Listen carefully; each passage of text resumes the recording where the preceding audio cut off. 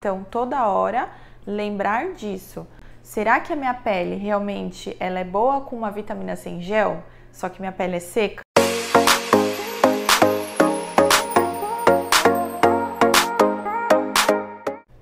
Você também vê todo mundo usando uma vitamina C todo dia na rotina de cuidados com a pele, mas não sabe como escolher a vitamina C e erra toda hora que escolhe?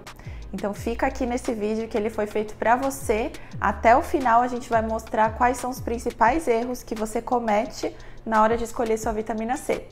Antes de mais nada, já deixa aqui sua curtida, seu like aqui embaixo. Meu nome é Marina Hayashida, sou médica dermatologista em São Paulo. Bom, na hora de fazer sua rotina de skincare para deixar sua pele cada vez mais bonita, com a textura mais lisinha, os poros menos visíveis, a vitamina C sempre brilha nossos olhos, né? Todo mundo quer saber como que escolhe a vitamina C, o que que faz.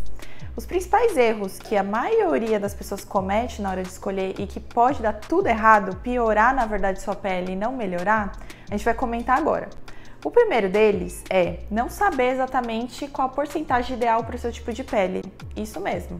Então tem gente que escolhe vitamina C de 20, 30% achando que está arrasando, porque é uma vitamina C de alta porcentagem, sempre melhor ali, você pensa assim, bom, quanto maior, melhor, né? E na verdade não. Às vezes tem gente que escolhe de 20 a 30% e piora espinha, piora a oleosidade, pioram os poros. Então 20 a 30% não é uma vitamina C feita para quem tem a pele com tendência a acne, tendência à oleosidade e pele sensível. Essas pessoas elas devem escolher vitamina C até 10%, no máximo 15%, quando ainda associada a outros ativos que acalmam também a pele ou que hidratam um pouco mais, como o ácido hialurônico e a niacinamida. Então, esse é o primeiro erro muito importante que você tem que parar de uma vez por todas de cometer. Então, achar que a porcentagem é o que realmente importa. Segundo erro muito importante, o veículo que está essa vitamina C. Como assim veículo? Na verdade, quando a gente escolhe qualquer produto de skincare, a gente tem que escolher qual veículo que ele vem. Veículo é se ele é gel, se ele é sérum, se ele é creme, se ele é espuma, se ele é pomada. Então existem vários veículos que a vitamina C vem, né, na hora da gente escolher. E aí você vai escolher baseado no seu tipo de pele. Então, se você tem a pele é, mais seca ou até normal, você deve escolher uma vitamina C mais em creme ou no máximo em loção ou sérum. Se você tem a pele de mista a oleosa, você tem que escolher vitamina C de sérum até o mais levinho que é gel e espuma, porque senão sempre vai piorar a qualidade da sua pele e não vai entregar aquele resultado que você queria, que era a pele mais brilhante, mais bonita, com menos poros.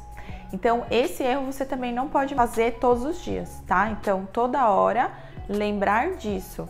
Será que a minha pele realmente ela é boa com uma vitamina C em gel? Só que minha pele é seca? Eu vou esturricar, eu vou deixar a pele ainda mais craquelada, eu vou deixar a pele ainda mais sensível. Então tem que lembrar dessas coisas.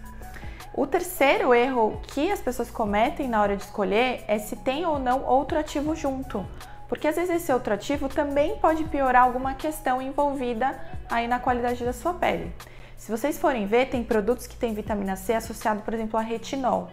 Retinol é uma substância anti-idade, só que que em muitas pessoas pode dar sensibilidade também na pele. Então, às vezes você tá lá toda plena, vai fazer, oh, agora eu vou começar minha rotina de skincare, já peguei minha vitamina C, que eu ouvi a doutora Marina falar que é maravilhoso para a pele, aí vai lá, passa e dá errado. Né? Por quê? Porque você não se atentou se naquele mesmo produto tem outros ativos juntos ou não. Então esses outros ativos, eles podem ser ótimos, assim como eu comentei. Então, por exemplo, a niacinamida é uma substância que pode ajudar a acalmar a pele e ter propriedades também anti-inflamatórias, tá? Então, se ela tiver junto com a sua vitamina C, perfeito, principalmente se você tiver pele sensível. O ácido hialurônico é uma substância que hidrata a pele.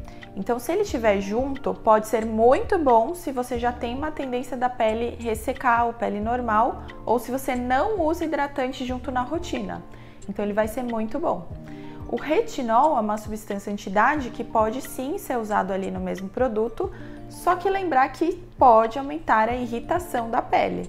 Então, usarem peles que não têm tendência à irritabilidade com facilidade, peles mais grossas e tudo mais. Então, esses foram os principais erros aí que todo mundo comete na hora de escolher a vitamina C e você tem que parar de cometer isso todo dia. E se você ainda assim tem dúvida de como escolher sua vitamina C, tem um vídeo aqui que a gente vai deixar o link na descrição embaixo. É um vídeo sobre como escolher o passo a passo sua vitamina C.